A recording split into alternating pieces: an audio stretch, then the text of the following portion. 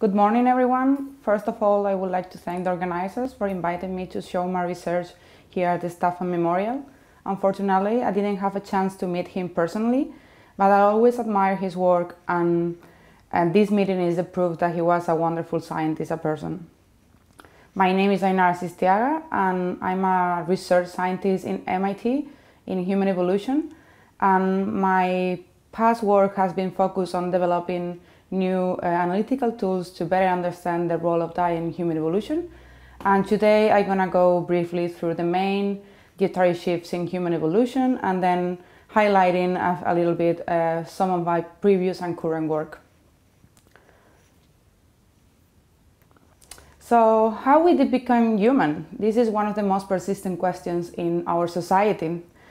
At present, it seems that some light has been shed on when and where, but the, how we diverge from our ape ancestors is still uh, shrouded in mystery.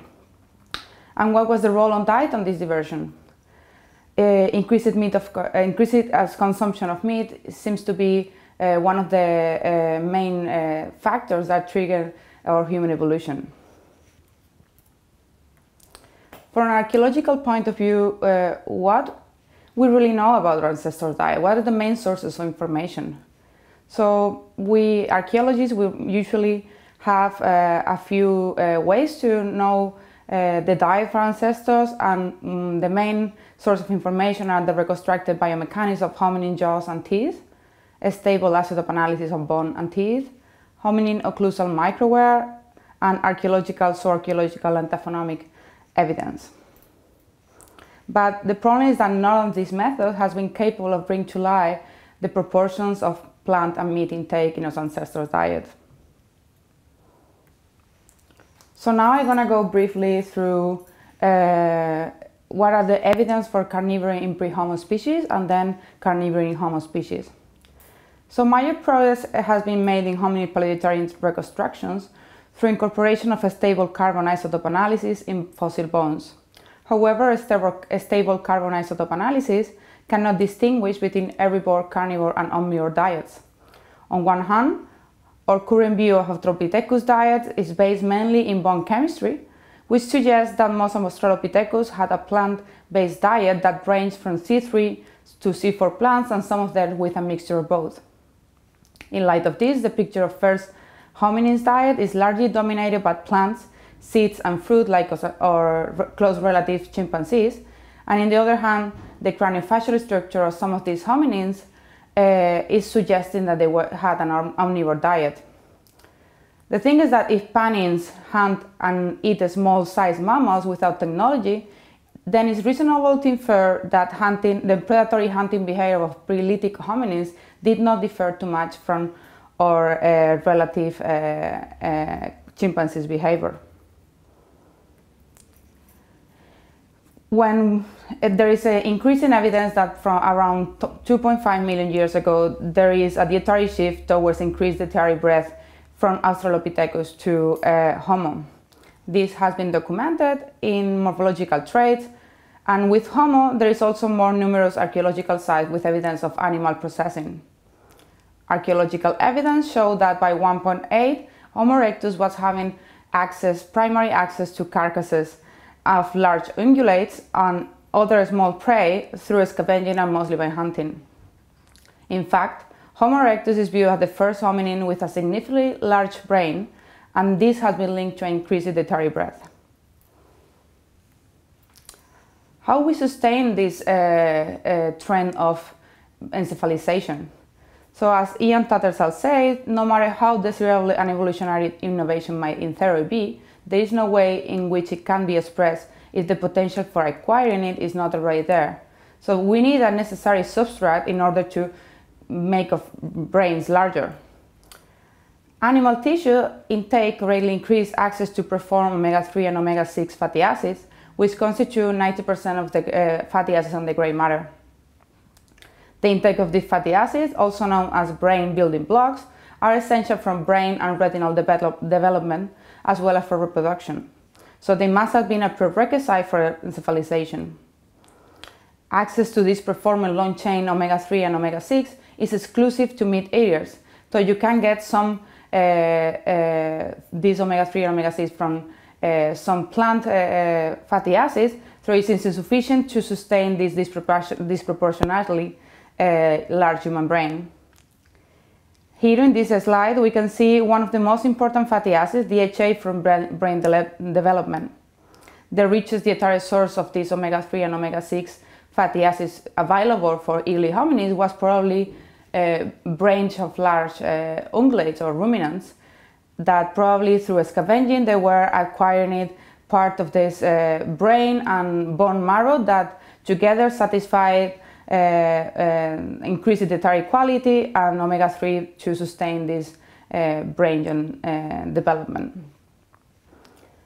Access to, uh, interestingly, the fish at some point also probably became one of the source of omega-3 and omega-6, like uh, is shown by the evidence in Turkana Basin sites, but our, there is not too much uh, evidence that's supporting uh, this as a, a, staple diet in early hominin diets.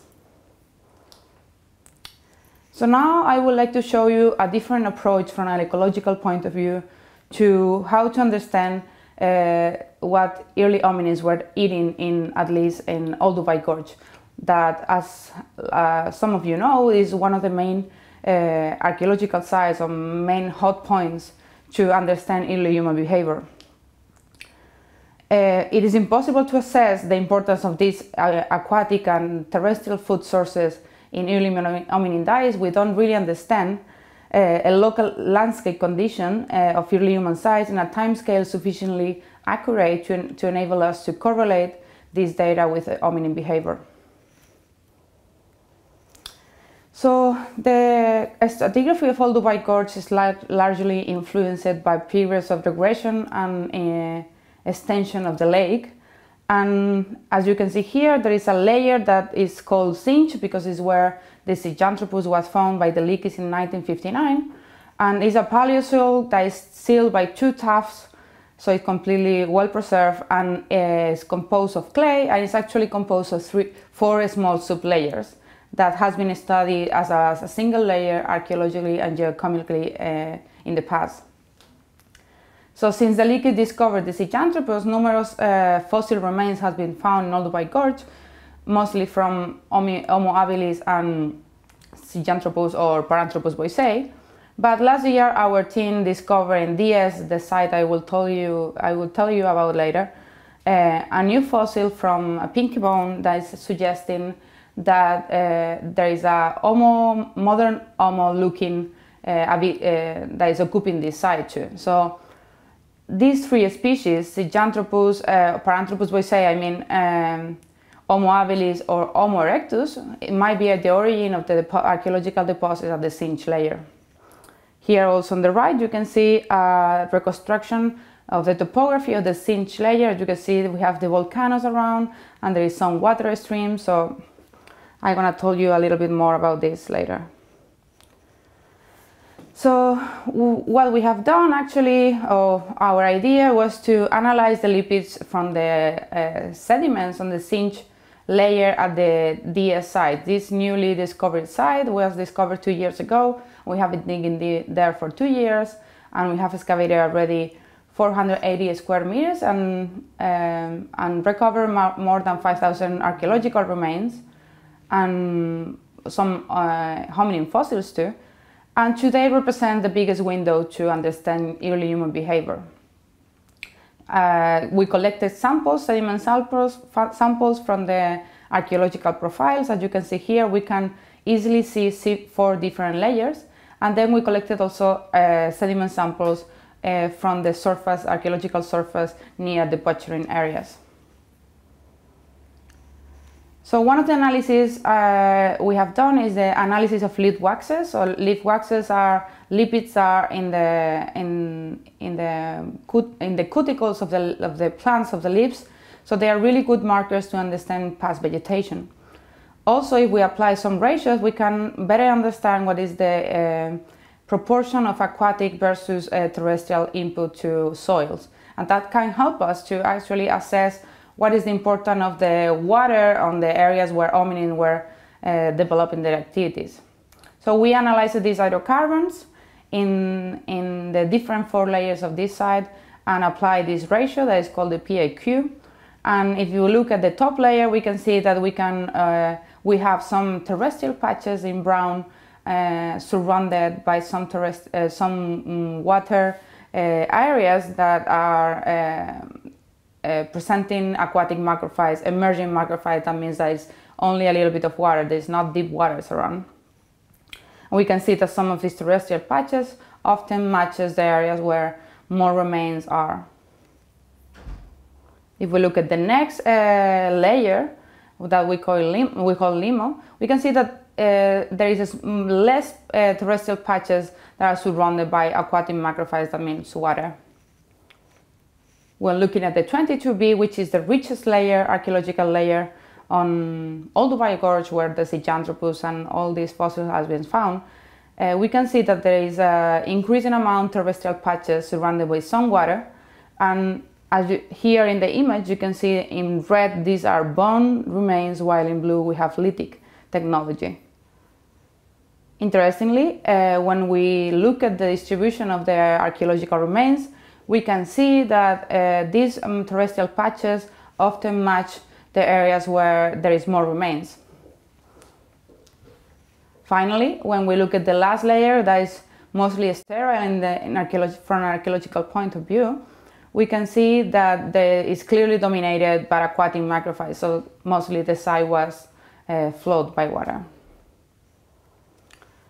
We have applied other proxies like the uh, isotopic carbon isotopic uh, analysis of these specific compounds and we're looking at the 32, 31 uh, carbon uh, n-alkane of leaf waxes, the, the values obtained, they are not clearly diagnostic of a, three, of a C3 or C4 landscape, which, uh, what it can be uh, showing us that actually something in between that might be because of this uh, regression and periods of variability, wet, dry, but also it can be pointed to the presence of some plants that actually have an intermediate metabolism or CAM metabolism. This could be supported actually by the presence of uh, these uh, 23 alkanon that we have here in the bottom, or uh, also this docosahexaenoic acid uh, that is a uh, omega-9 uh, hydroxy acid that also is pointing us to algae and water in the area. what is interesting that I think these biomarkers are pointing us to a a, a variable landscape that is actually dominated by a wetland um, with uh, mosses, ferns, and sedges. And this uh, landscape or this picture actually is not uh, compatible with the arid parian landscape and salinity of the lake that some models have used previously. The macrobotanical fossils also comes to support this idea. Uh, here you, we can see that uh, there is like uh, typha roots that are uh, showing that there is C3 graminoids like typha that were abundant in this DS uh, layer. Also we have silicide combs in Zinj sediments that resemble the edible USOs of African cryptogams that also uses a intermediate metabolism like some ferns. Here we have, have also some uh, remains of mole rats that also point to the presence of underground, underground storage organs. The presence of ed these edible plants near the sites together with fresh water might be, have been a determining factor on the way hominins occupy the space. We also recover a significant amount of phytoliths, which are fossils, uh, silica fossils that uh, diagnostic for plants through the Zinj sequence. These results show that the distribution of phytoliths on the map uh, the different size, we can see that uh, most of the size there is a significant presence of ferns, including in the DS, and they are dominated by forest plants with some contributions, palm trees and ferns. It's interesting that we have not found in any of our samples uh, the presence of polycyclic aromatic hydrocarbons that are actually uh, markers of fire. So that points us to the next dietary shift, the cooking revolution.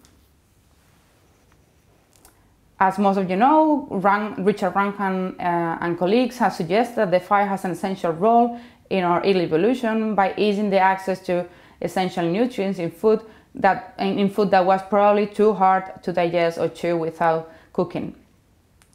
However, it's likely that our, our, ancestors started eating meat long before they start cooking.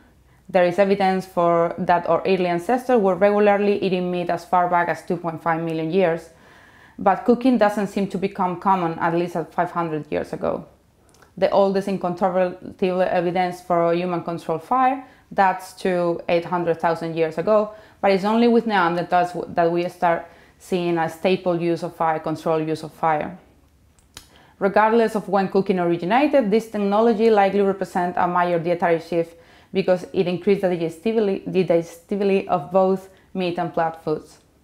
So with Neanderthals, we start seeing this kind of stratigraphy that is, is completely plenty of uh, fires, one another after another, and there are usually, um, we can see there is a, a controlled use of fire. So to wrap up a little bit, uh, understanding the timing of when the first member of our lineage started to incorporate animal tissues in their diet on a regular basis is was crucial to the fate of our species.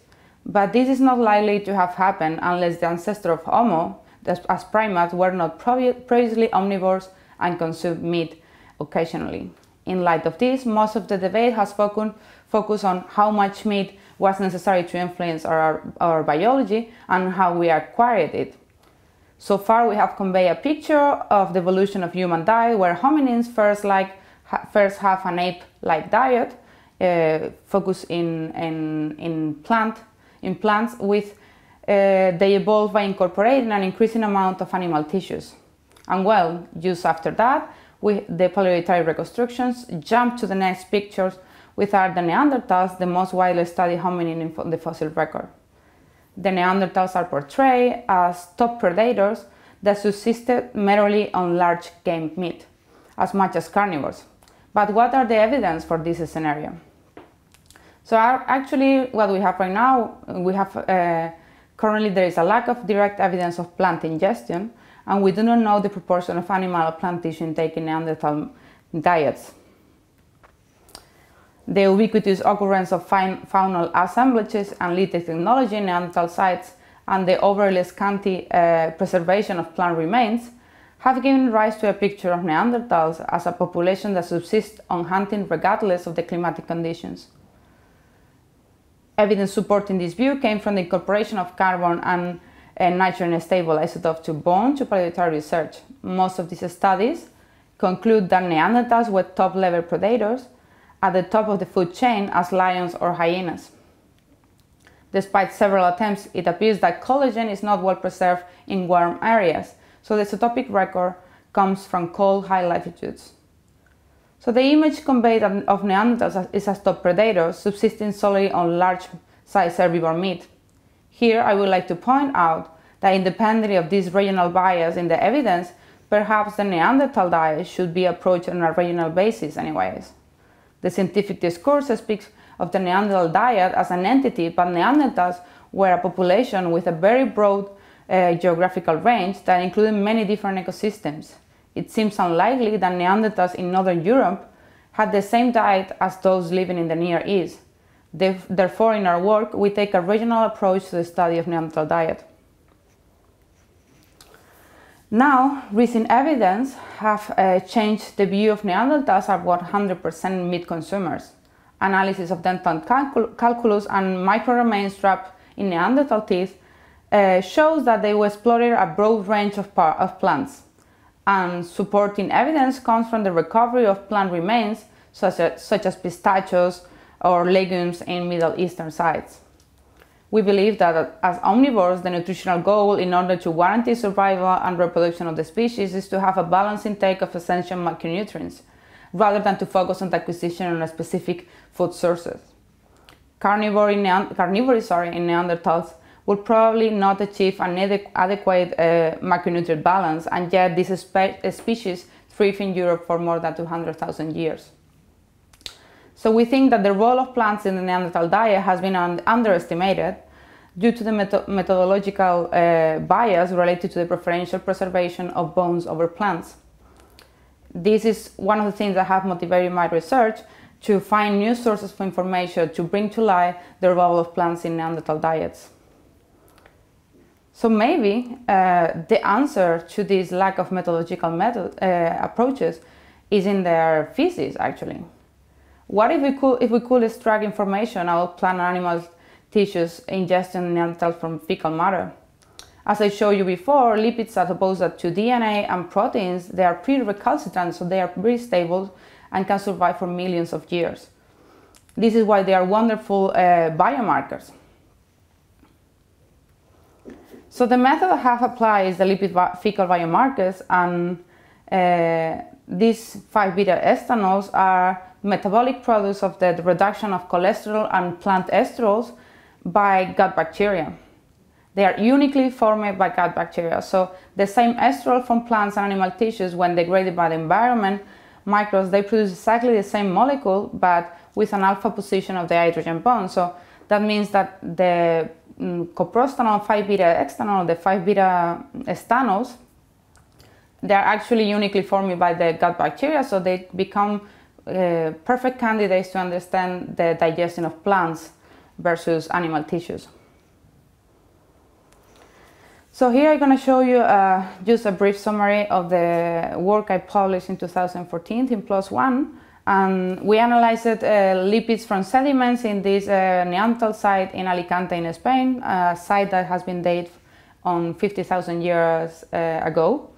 And we analyzed uh, different uh, sediment samples from different occupation flows by showing you here five that comes from different fires that were found in this site. And in red you can see the coprostanol uh, and epicoprostanol molecules that are actually or proportions that are actually the ones that are uh, markers of uh, meat intake. Uh, and in green you can see the markers of plant ingestion.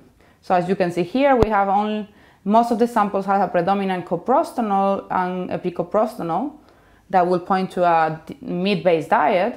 But in some of the samples we have some significant, significant amount of plant ingestion markers. Here in the, in the, in the left, you can see uh, a thin section picture that we found some um, microcoprolites with the presence of nematodes um, and eggs and nematodes from parasites that in this case were attributed to Ascaris. So a closer look to one of our samples, we can see that while coprostanol is the main 5-beta estanol, there is a significant proportion of a plant marker. It might seem small, but when compared the amount of esterol present in uh, gram per gram in a steak and a spinach, we can understand this probably represents a significant intake of plants. When we compare the lipid excretion of Neanderthal with our closest wild primates, uh, chimpanzees and, and gorillas, in this case they are wild from Uganda, we can see that they are clearly uh, grouped sep separately, indicating that their diets are quite different. So I'm not going to spend too much time explaining these uh, graphics here for non-human primates. So just to let you know that and analyzing the feces from gorillas and chimpanzees, we saw that uh, gorillas had an increased um, uh, cholesterol met metabolism, an enhanced cholesterol metabolism, and that uh, a compensatory behavior in the production of biosynthesis of cholesterol and they were uh, these enhanced cholesterol metabolism can also be associated to the unusual sensitivity to cholesterol in chimpanzees and gorillas that are fivefold more sensitive to dietary cholesterol than humans and other wild monkeys. This greater susceptibility will also explain the high rate of hypercholesterolemia in captive chimpanzees and gorillas. So if this trait was shared with our early ancestors, how we became biologically capable of supporting such a large, largely carnivorous diet? So I think part of the answer might be in our microbiome. The bacteria responsible of the conversion of cholesterol to coprostanol is very different in humans and in animals. So we humans have these Bacteroides species strain D8 that use a different metabolism to convert cholesterol to coprostanol, while most of young animals that uh, produce coprostanol uh, from cholesterol, they use these Eubacterium coprostanoligenes.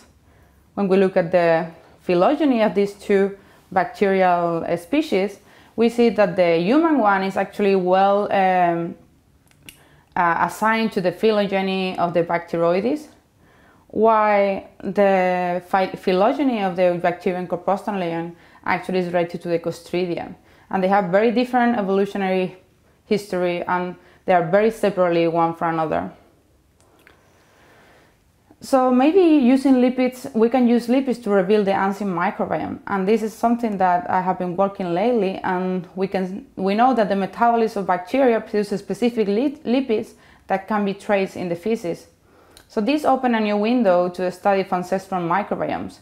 Despite increasing evidence that the microbiome has an important role in essential core uh, function of our biology, listeners know how we co-evolve with our microbial partners.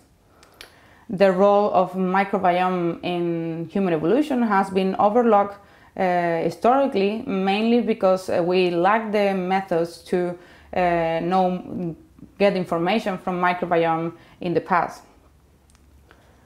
So I think it's uh, essential to, in order to better understand the role of microbial partners in human evolution, it's necessary to develop tools to investigate gut bacteria in the fossil record and generate a reference database that includes different diets and lifestyles. For this reason, we have recently created the Global Microbiome Conservancy, which is a joint initiative between MIT, the Center for Microbiome Informatics and Therapeutics, and the Broad Institute. And our intention is to collect more than 1,000 individual donors uh, saliva, uh, urine, and feces for uh, donors are in more than 30 countries around the world, six continents, and we will culture these bacteria and save them in a, in a bacterial bank. And we will analyze the genomes and metabolomics. And the interesting thing is that we are going to also analyze the lipids. So we will generate a, a database that will allow us to look at the fossil record after and get more information about the uh, ancestral microbiomes. So the take-home messages actually is, is, really, I think, uh, is kind of common sense, but paleodietary reconstructions are often quite simplistic. We don't know too much about Paleolithic diets. It's necessary to address the study of ancestral diets from a holistic approach, taking into account the local conditions. It doesn't seem to be a particular ecosystem that triggered the human evolution. On the contrary, most hominins thrive in different ecosystems successfully adapting to the variable conditions. Our preliminary results on Neanderthals can be considered the first direct evidence of omnivory, but they are also pointed to a broader dietary spectrum. This can also, the problem with this also is that it can be also a single meal, so we can gen not generalize on uh, what the Neanderthal diet was.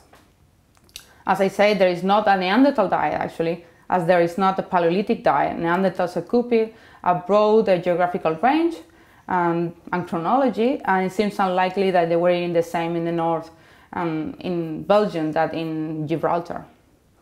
Lipid analysis is a useful tool in the study of ancestral diets and microbiome, and I think so, also something very important, it is essential to calibrate models with fossil reference from archaeology, geology, etc. So with this, I would like to thank you for your attention and I'm happy to take questions in the roundtable. Thank you.